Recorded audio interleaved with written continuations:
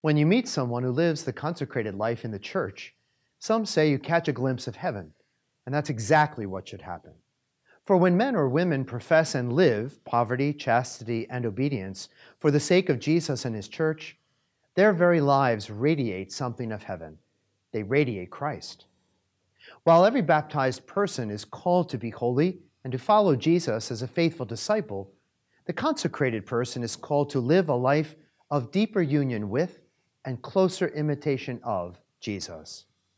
He was the consecrated one, the missionary of the Father sent into the world, who embraced poverty, chastity, and obedience and proposed just such a life to his disciples. So if someone has a vocation to the consecrated life, their vocation is to live more evidently the poverty of Jesus, who, though rich, made himself poor for our sake, offering himself completely to the Father. Their vocation is to live more evidently the chastity of Jesus, who gave up the love of spouse and children so his love might belong to the Father alone. Their vocation is to live more evidently the obedience of Jesus, who emptied himself and became obedient even unto death, death on a cross, so to fulfill the will of the Father. God has sown the life giving seeds of poverty, chastity, and obedience in the church.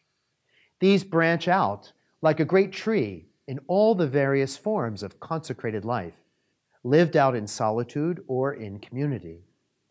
These include hermits, consecrated virgins and widows, religious men and women, and those in secular institutes. Whatever form their consecration takes, these priests, deacons, sisters, brothers, and lay faithful are real missionaries and witnesses to the gospel. They radiate the Jesus who prays, teaches, preaches, feeds, consoles, and heals. All the baptized are called in such a way that others might recognize Jesus. But the Lord calls some of us to imitate him even more visibly in poverty, chastity, and obedience. If you think he might be calling you to the consecrated life, ask for the grace to accept the call to radiate Christ. Because the church and the world are always in need of a glimpse of heaven.